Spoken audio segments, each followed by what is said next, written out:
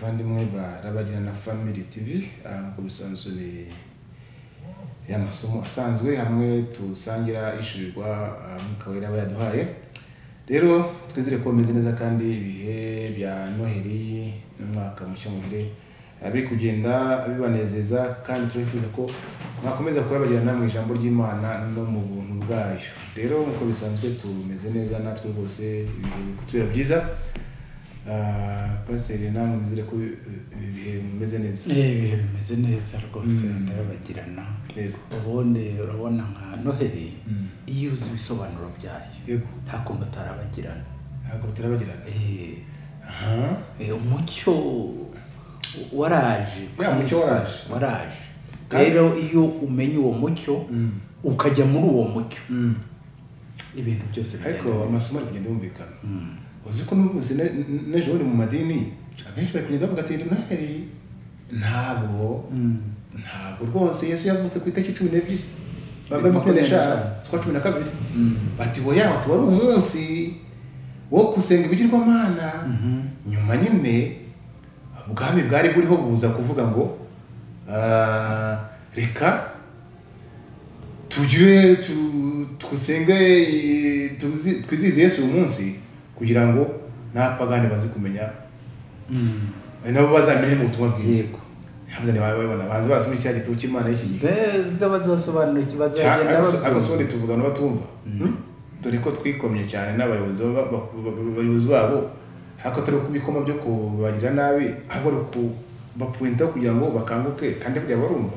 Erega mu rwanda dufite ururimi rumwe. Rero ejo bundi numvise rwose abantu benshi cyane kubera twabisobanuye niko na benshi bari kugenda babisobanura ariko hari n'ikindi buriya igihe kirageze igihe tugezemo Mm. umwuka wera ariho arakura cyane. Yego. Hari benshi Mm. bagiye gusobanukirwa. Kuko ejo bundi tuzumva amadini ariko bati yesu kirisito niyo gukiranuka kwacu. Bizaba. Ni- nibitaba rero hari ikintu kizaba. Mhm. aba aba abakristo mu ma abakri reka tuvuge abakristo Mhm. mu madini yabo Mm. bazajya bagenda basobanukirwa Mm. bavemo bava mu madini Ba- bavemo bajya aha- aha- ahazaba ha- hatunganye noneho resitora nziza wamuga Eh. ajya resitora nziza si umuntu ajya kuryamo Eh. wajya kurya muri resitora mbi eh, kandi uzi ko ari resitora iteka neza eh, noneho bizagenda gute wa wundi Mm. wayoboraga idini Mm. azabona asigaye wenyine azakurikiye ba bandi azabakurikira cyangwa azabatenda ndabyemera mugaruke oya bizaba byarangiye ntabwo byasho- bashobora kugaruka. Habuze ugomba kundi amadini yawe reka da. Mhm. Ya, ugasubira mu kibi wakimenya ntibikunda. Ntibikunda. Mm. so rero wa mugani buriya buriya ntuza hari uriya mwami constantine. Ariko muzi impamvu bikoze abantu bamwe bat- batagiye no kumugumuka bamuvaho sibyo? Mm. buriya ngo nabo bakristo ba- bamukurikiye.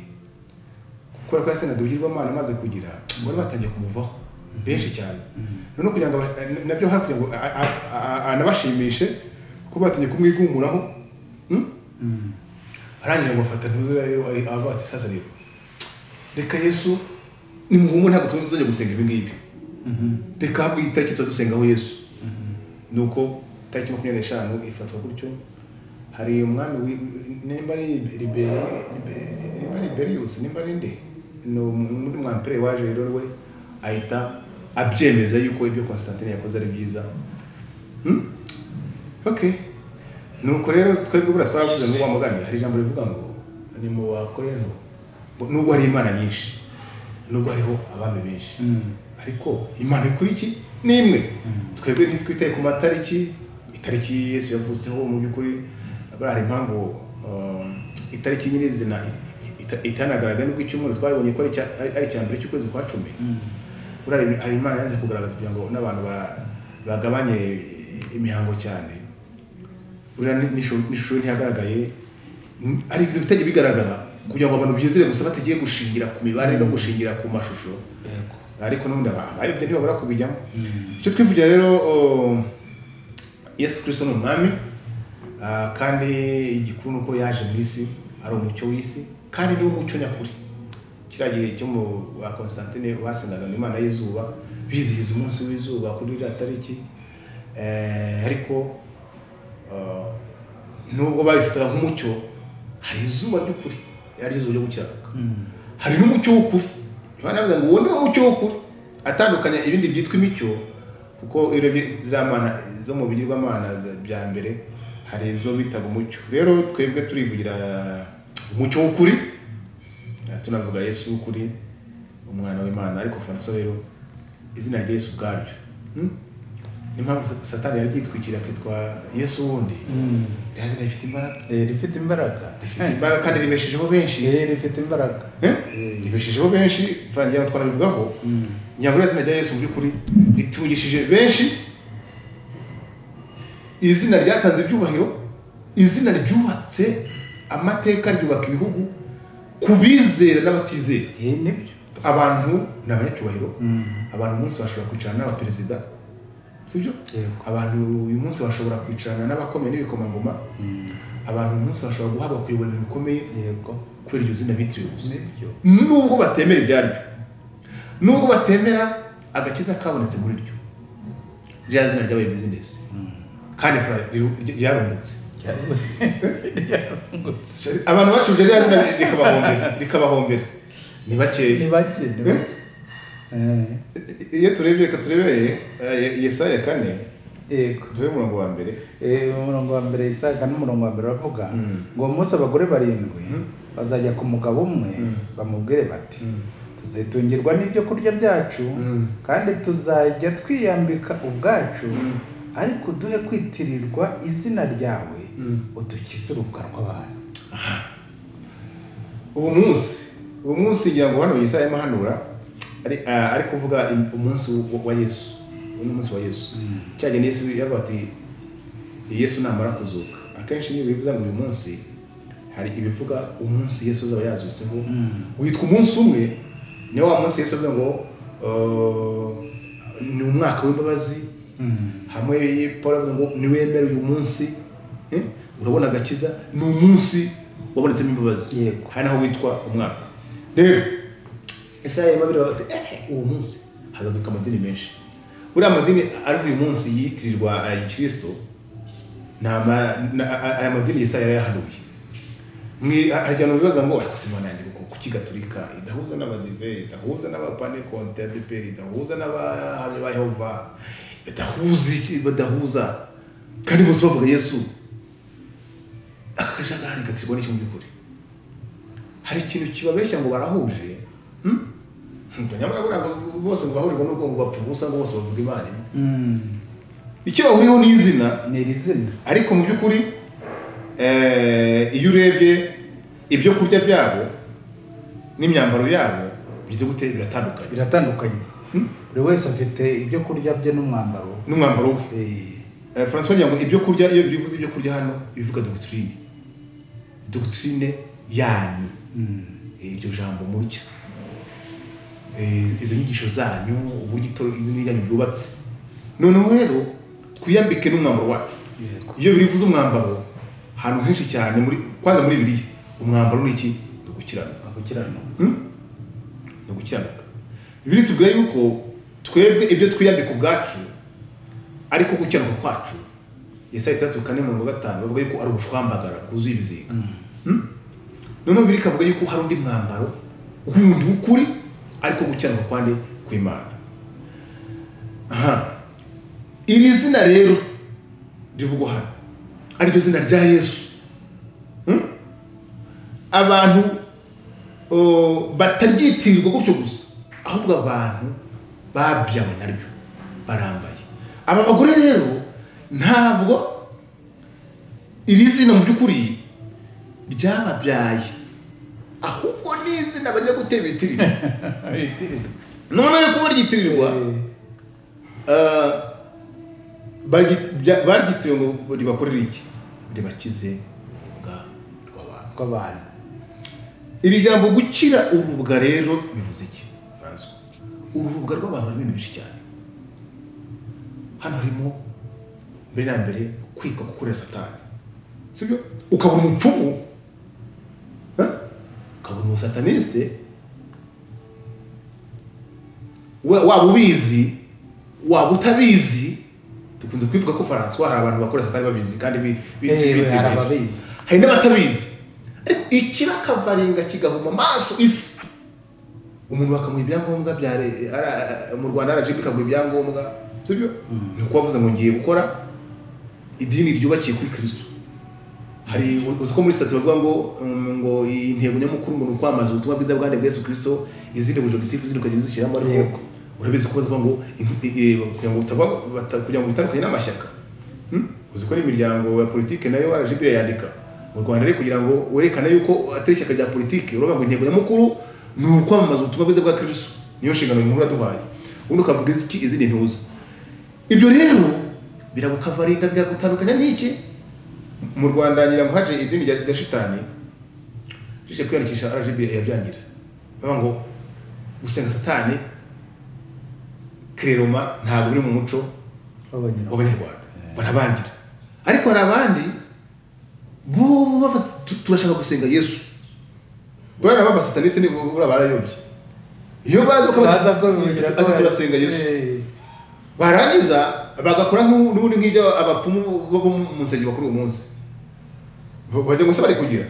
Bariya rero baba bafite indi ntego. Eh. buriya kuvuga ko basenga satani Eh. baba babitekerejeho. Yego Eh, baba babi- babizi. None se ntabwo basenga yesu kandi basenga satani kandi babizi? Kuko basenga satani? Oya ndavuga ku- kuza kwaka ibyangombwa ngo bahagarare satani ku mugaragaro. Mhm. Eh, baba babizi baba bazi icyo bakora bariya bantu. Ntabwo ari- ukuvuga ko bibeshye. Oya nyine ntabwo bibeshye? Mm. bo satanizime idini rigeriyeho muri amerika. Ngira ngo nimba no muri kenya hari baje yabo Eh, buriya bo bari kiriya ni idini bakora bagafata imisaraba bakayicurika bakawushipinga satani. Ibyo nyine bikora ku mugaragaro muri amerika ntibyigeze guteza ambuteyaje ba- bariho basenga bagira gute abandi baki- b'abakirisitu nabo bakaza induru zikavuga bakarwanya bya Eh. icyo turi kuvuga hano rero Mm. ababa kugira ngo bakire urubwa. Mu rubwa rero batagutunga urutoki ko François iyo udekaraye ngo ni uwa satani. Hari umukobwa wa- mu rwanda wise ngo ni umukobwa wa satani. Eh, yumva baramwanjanye aho akagasi ngaho ni byo nta- ntabwo ntabwo wabona amahoro. Ntabwo n'amahoro Mm. nyine mu muco mu muco hari imico yumva ko satani ari ikintu kigize gute? Ariko satani rero kuko umujyanja ari injyana ikomeye hari abantu nyine eh, ayobya. Akabashuka. Mm.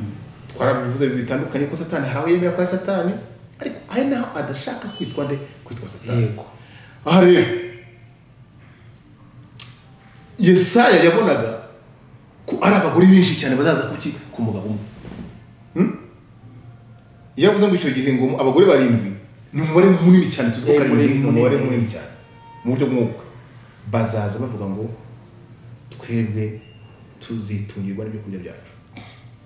Gutungwa n'ibyo kurya. Ubundi kirisito ni we mugabo. Sibyo? Wacu. Niko abakorinto ba kabiri cumi na rimwe bavuga. Mm. twakwerewe umugabo umwe. Sibyo? Ari yesu kirisito kugira ngo adutungane adushakire ibiryo atugaburire. Aba rero izi nkunguzi z'abagore bari kumvuga iyo ni inkunguzi Mm. zivuga ngo tuzishakira. Twebwe ibyo kurya byacu.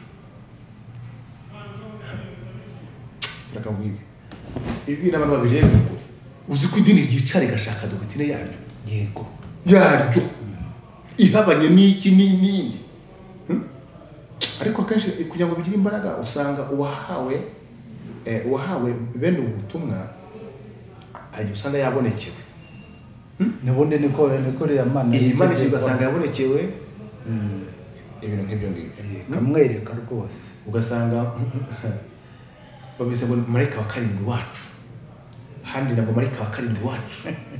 Ngo ngo- ngo ubutumwa bw'impanda marayika wa karindwi. ngo impanda marayika wa karindwi niyo ngo marayika wa karindwi ngo ubutumwa bw'impanda ni ibintu bivangavanze ugasanga uwa hano muri iyi dini si uhuye na marayika wa hariya wa karindwi si uhuye na marayika wa karindwi hariya? Nubwo butumwa ngo bwa marayika wa karindwi muri iri dini si bwo buhuye n'umarayika wa karindwi wa hariya?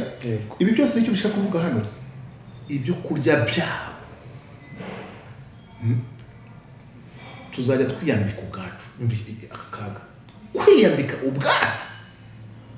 Ubwacu. Ubundi iki kirazira. No mu magambo make ubyumvise bitwa ko bafite umugabo ariko uwo mugabo ntaho bahuriye. Ntaho bahuriye. Ntaho bahuriye.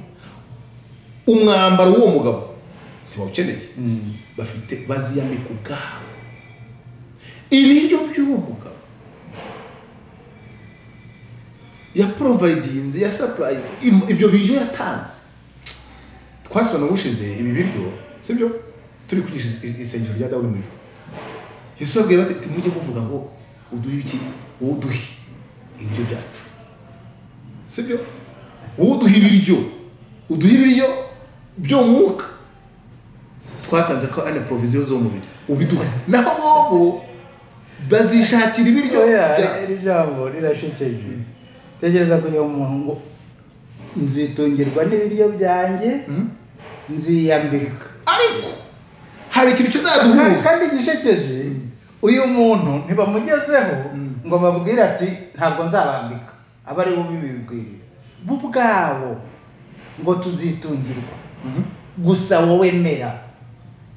Witwa urumva ariko ko ntuzatahabasubije yarabihoreye. ntabwo wabasubiza. Ah, ntabwo wabasubiza. turaza kugeraho ni hamwe yavuze ati hakurya sinigeze mbamenya Eh, ntabwo wabasubiza. Mwaranyitiriye francois icyo turi kuvuga. Bamaze kwitirirwa iri zina rye.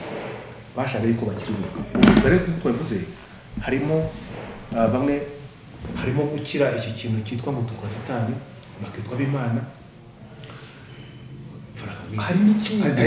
hari n'ikindi. hari yaterwa ngo ikizurubwa Ikizurubwa eh, Eh, urayizi? Eh, njya numva.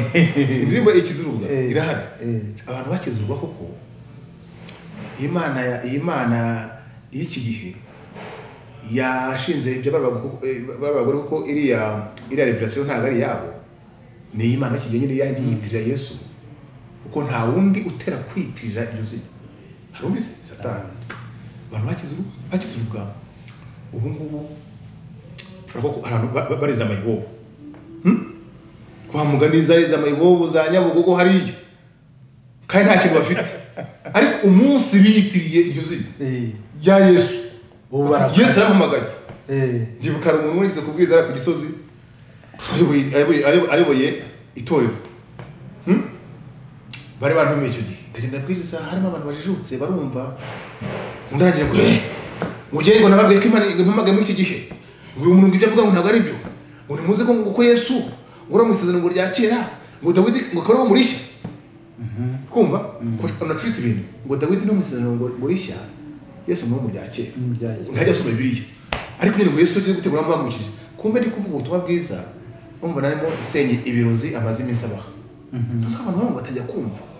Batuma mugari mu tipe uzi ko yatindagije ariko ko yavuze ngo yagira ngo imana ngo impagurukire muri kino gihe yariyambye iryo zina yaramaze kuba bosi yego uzi ko bamaze kuba ba bosi ubu ngubu bafite amamodoka amabenzi amarande kuruza sibyo bafite ama etaje muri kigali bafite za bizinesi zikomeye cyane mu mujyi wa kigali abandi bari mu mahanga batuye i Bura- i burayi abandi bashize amadini arakomera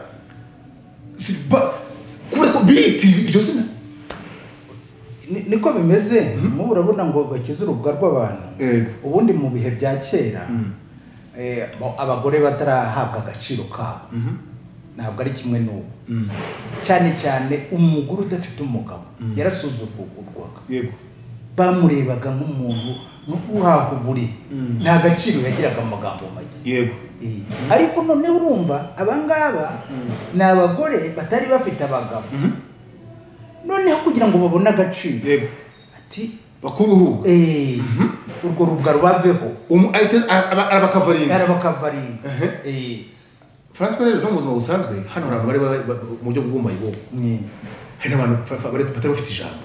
Kuko batari bafite umuntu bihishemo yego. Kuva batangaza ngo yesu yarampamagaye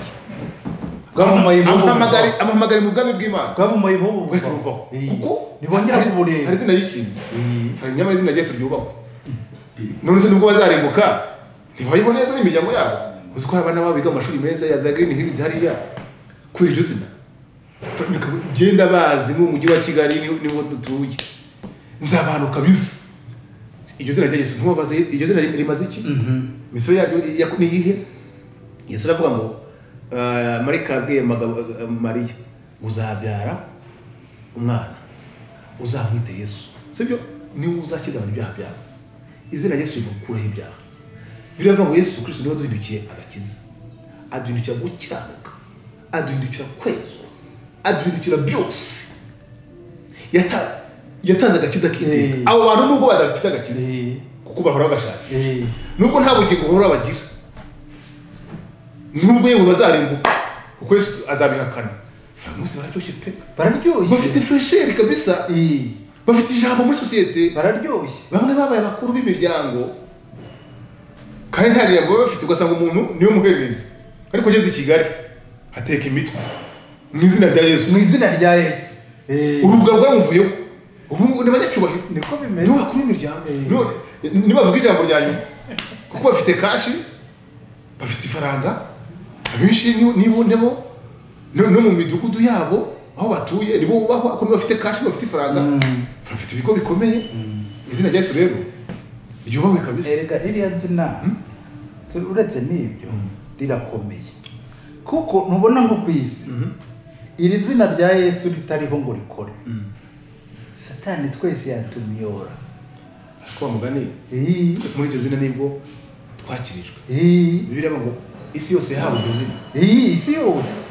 Kandi yesu wa mugani amaze kuzuka iryo zina rye ryari hejuru? Y'amazina yose? Yego. Rigiye hejuru ubwami bwose? Mm. n'ubushobozi bwose? Uzi ko abantu bavuga ngo mu izina rya yesu kubera uburemere rifite umuntu akarivuga kandi nawe ari umupagani. Abadayimoni bakagenda. Ririya zina ririnda abantu bose. Reka mubwire rero Mm. hari abapagani ngo ha- hari abana b'abatambyi. Ngo bahoraga bavuga ngo mu izina rya yesu uwo paul avuga abo pawulo avuga dayimoni zigahunga da Harya ni abahungu ba sekoni sekwera mugiye mu gutanga Eh. bavuga ngo mu izina rya yesu. Kandi badakirijwe Eh, ngo bari abantu b'inzererezi. Eh. inzererezi nyine zigenda Eh. reka mubwire zari inzererezi zigendera sibyo? Ariko zirabata ariko ni gute natwe twapafominga mm, nyamara hari izina rikomeye Yego. rya yesu. Eh, zirangije. Fara cyagiye cyari gikomeye. Zikanyura ahantu ahantu abadayimoni bakandamije yego noneho zozo kandi kabwira niba niba abadayimoni bazivumbuye ni uko zongeragamo pawulo. Nizo bati mu izina rya yesu uwaduhamagaye natwe. Ur- urabona inzerezi z'iki gihe zozo ziriya nyine zamaze kuvamo ubuye mu bayibobo zikaba ziri munsi. Yego. muri bavuga mu izina rya yesu uwo paul avugaga. Ati mu izina rya yesu kristo waduhamagaye! Dayimoni muvemo! Muvemo! Muvemo! Ariko buriya ukuntu bavumbuwe Mm. ni uko pawulo yari yatangiye kwigisha noneho. Imbaraga ze zikagaragara. Ahubwo ziriya ntuzi ntabwo ziyaminiyaga Eh, ziriya nzerezi ntabwo ziyaminiyaga zozo urabona dayimoni dayimoni muri zigira ubwoba? Eh. dayimoni na zo ni ibifeki zigira ubwoba? Eh. noneho bari bazi ko iryo zina rikomeye bati sasa rero iryo zina rirakomeye. Ariko baritwerera pawulo. Eh, iyo biyaminiye bakavuga bati mu izina rya yesu waduhamagaye. waduhamagaye. Dayimoni zari kudahuza ijwi mu ibaze dayimoni zaragiye none ab'iki gihe impamvu bikunda ni uko biyaminiye. Biyaminiye. Eh, bakaguma bati ni yesu wampamagaye. Yesu wampamagaye. Naho ndi mu ati eh izina rya yesu riteye ubwoba? Oya n'ubundi baramubajije bati nyine reka Eh. mu izina rya yesu pawulo mu izina rya yesu Po- mu izina rya yesu.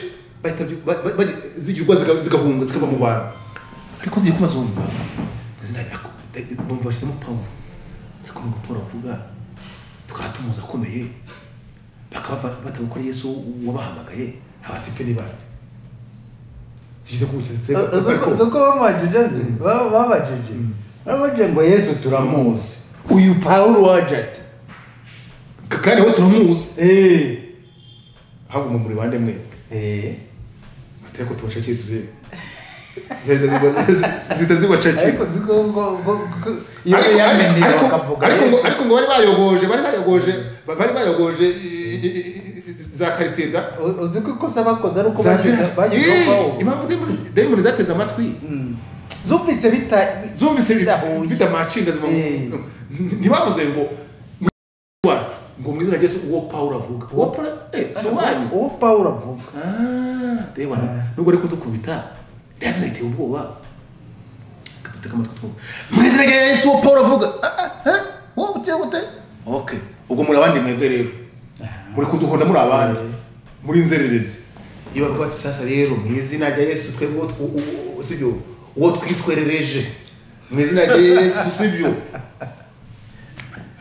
sasa rero kandi kamubwira uzi ko ba- ba- bariya bene tekowa bari abana ese wari Eh, harya ni byakozwe n'intumwa byakozwe no kanze nkwereke Eh, we we we we byakozwe n'intumwa rwose ibyakozwe n'intumwa ah, ni hehe ni hehe ni hehe Reka tubashake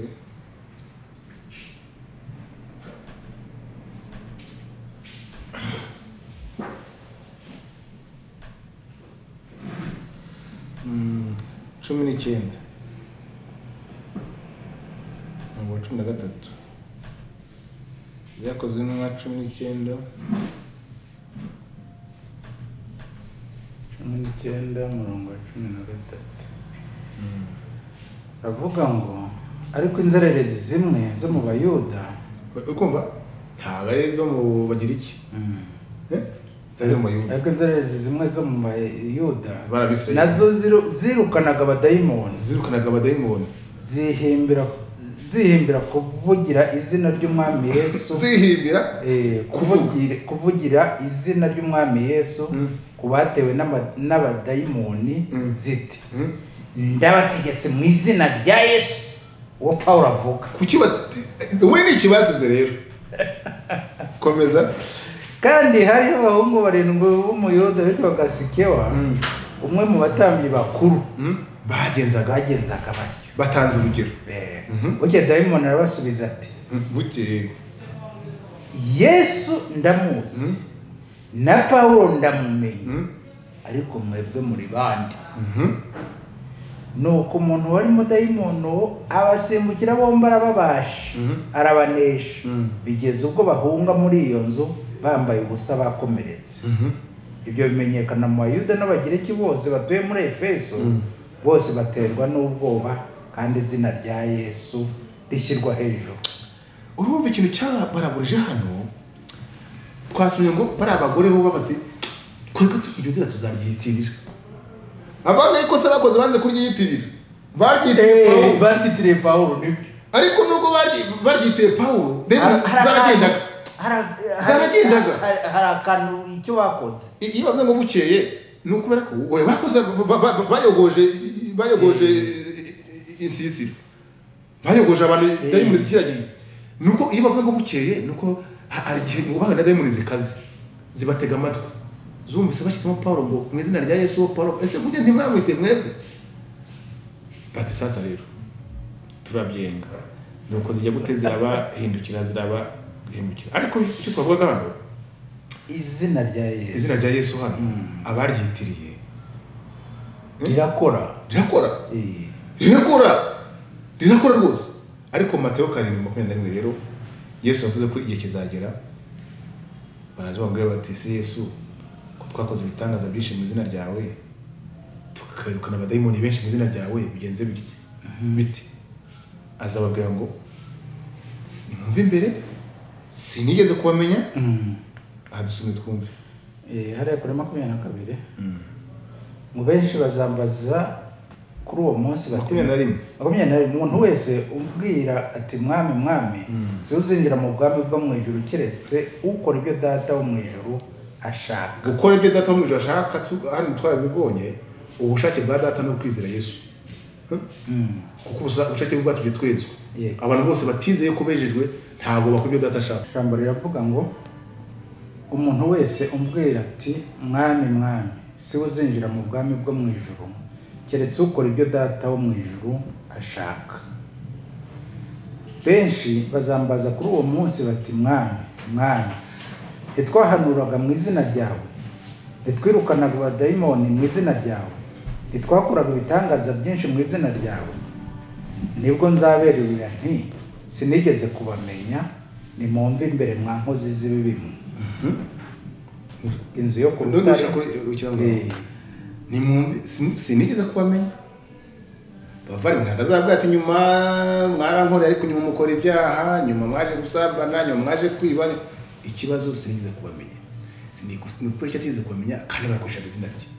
Ni uko baryiyitiriye ni uko baryiyitiriye bavandimwe reka tubabwize ukuri.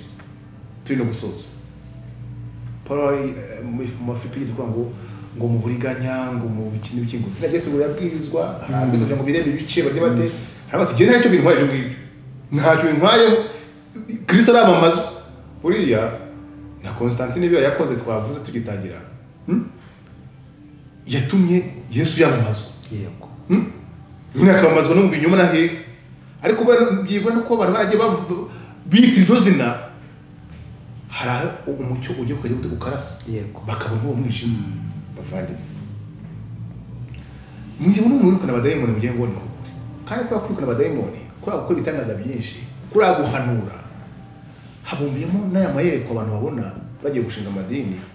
Ugasanga amadini arakomeye cyane. Yita ibitangaza yita ibiki n'ibiki kandi mu by'ukuri ah, afite ikibazo gikomeye. Gikomeye. Dogitine yabo ibyo kurya byabo atari ibyo kurya bya- ibyo kurya bya kirisito ibyo kurya bya kirisito ni dogitine ye ikubyara ukaba umwana w'imana ukaba uwera ijana ku ijana ugakurwa urubanza rw'iteka ukakira gukiranuka kw'imana ukakira umwuka we. Ukavuka ubwa kabiri ukabatizwa muri we ukanakira umwuka we. Turabizi mushize ukabatizwa muri we ukanakira umwuka we. Imana ikabona urubyaro. Dore gihamya rero y'ibyo turiho tuvuga duhora tuyivuga iriya dekararasiyo ya musanze. Aho abantu bivugiye bati ntitwigeze twigisha ibya kirisito ngo twabwije abantu bahinduka ngo abakristo ku izina. Eh?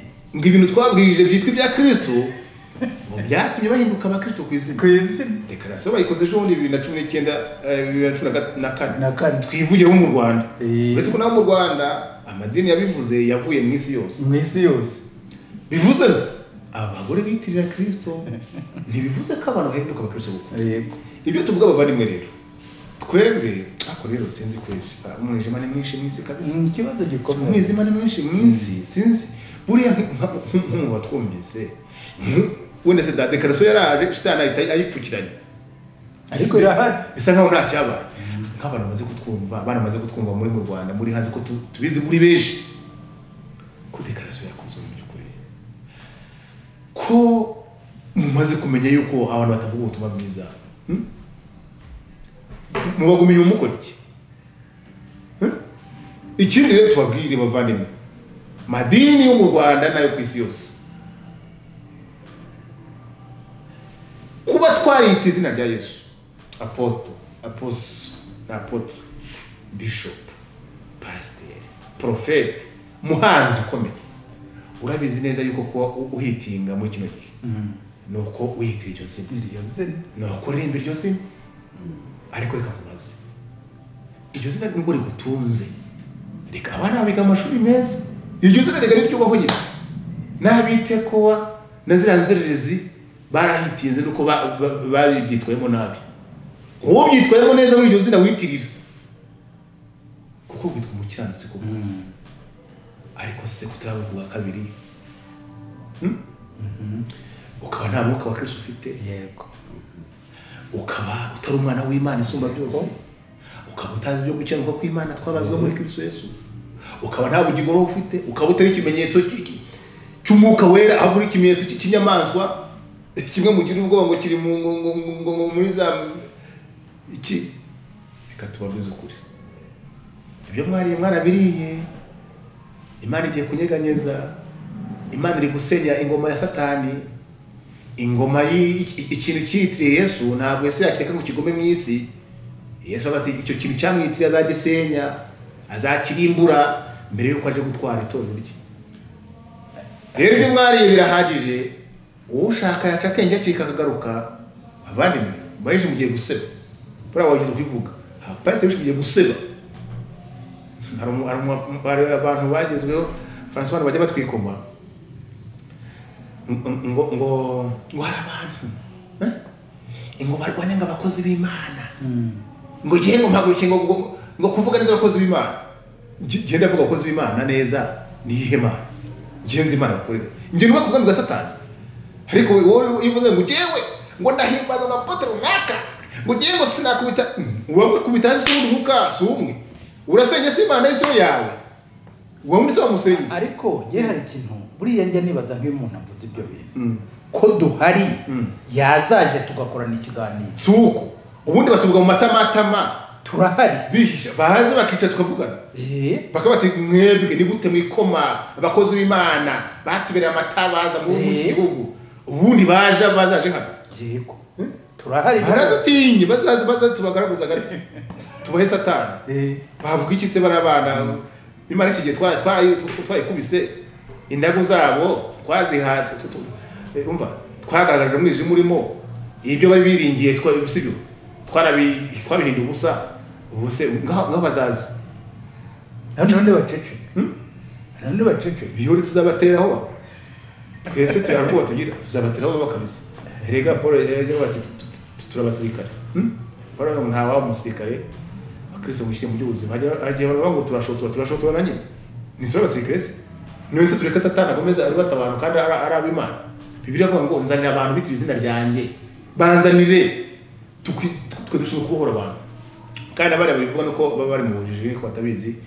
Rero iryo zina abantu biteriye bakaba barayiryoshyemo eh, mu myaka itari mikeya bariryoshemo akabwira iriya yararyoshye sha akabwira bararyoshye kabisa.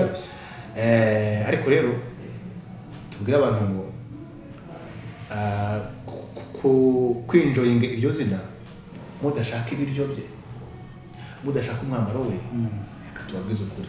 Ibyo muri kurya ni iby'akanya gatoya ni iby'akanya kabisa isoni z'abakora Yohana ntuza daniel avuga ati iyo mana itigeze kumenywa na ba sokuruza. Iyi mana y'iki gihe nyine yigize yesu wundi? Abazayiyoboka izabaha n'ibihugu y'ingororano yego.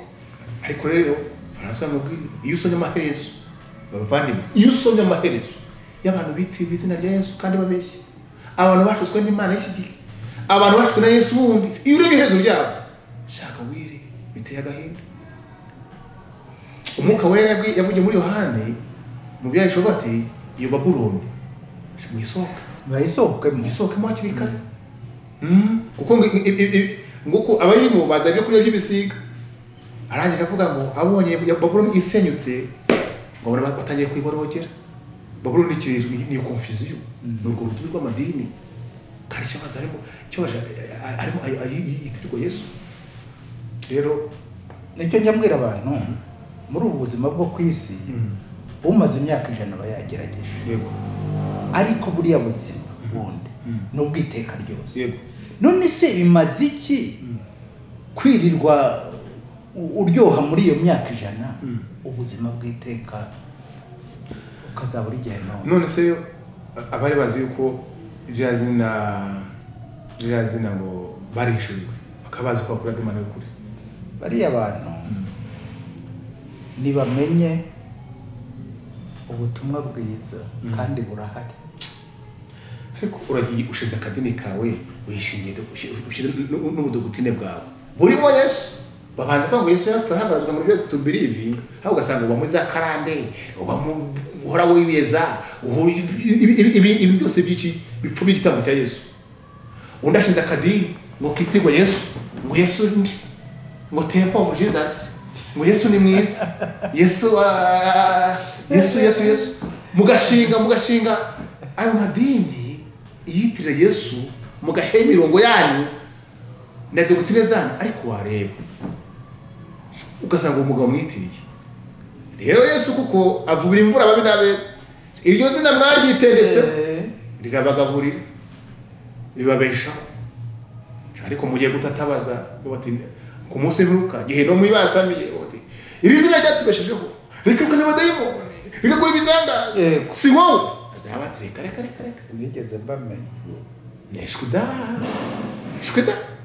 Ishwe nuzi twakoreraga nde umubare nguriya wabashukaga rero bariya bantu nibasome igitabo ijoro n'iryawe. Bashobora igitabo cyitwa ijuru n'iryaho kizabakiza ni ukuri? Bazamenya ikindi basoma igitabo cy'imana y'ukuri n'iki gihe? Eh, kizabafasha kumenya. Ibyo byo birangiza.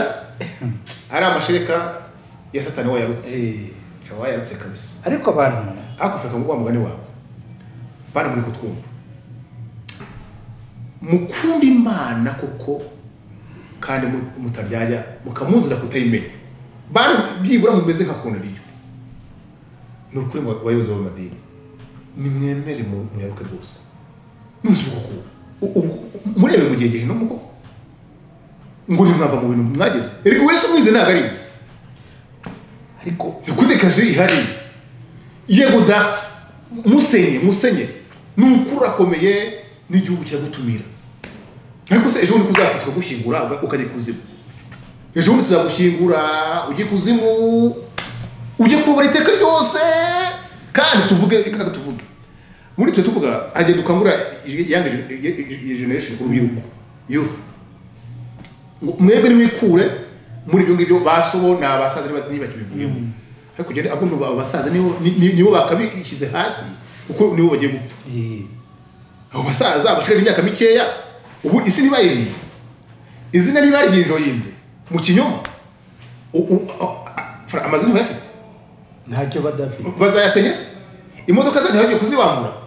Ahubwo ugenda umva rero twari tubatiye urubyiruko hakiri kare ni mu ruke ibyo baso babahaye ahubwo ugenda umva bariya bantu b'abasaza bakuze b'amadini y'ibigugu numva aribo bakaba bati rero wavugane hiti twarayiriye ariko tugiye kuruka ibi bintu kugira ngo agahe gato basigaje nk'uko babivuze agahe gato basigaje bi- bibereho iteka ariko uzi ko baramutse babirutse n'ubu rubyiruko rwakira twakiranye rwahita rukira abasaza se babaye amadini bose babagaburira ibi- ibi- ibi- ibi- ibiryo biboze bitari ibya kirisito nubwo twamwitiriraga muri dekarasiyo ni byo bavuze abasaza ni byo bavuze muri dekarasiyo ariko ubundi bavuye muri dekarasiyo bakomeje bakabivuga mu madini yabo ariko iriya dekararasiyo tuzongere tuyivugeho ibintu bavu- ba- bavuye kuri stade amahoro bagarutse bakajya mu nsengero zabo bakavuga ngo Eh. twabagaburira ibi- ibiryo bya shitani Eh, iriya dekararasiyo rwose tuzongere tuyivugeho kuko birakwiye ko abantu bose tujye mu muhanda?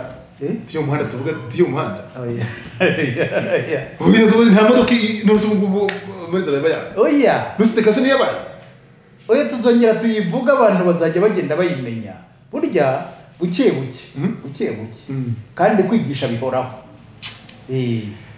sawa nta kundi bavandimwe reka dusoreze aha ngaha naho utaha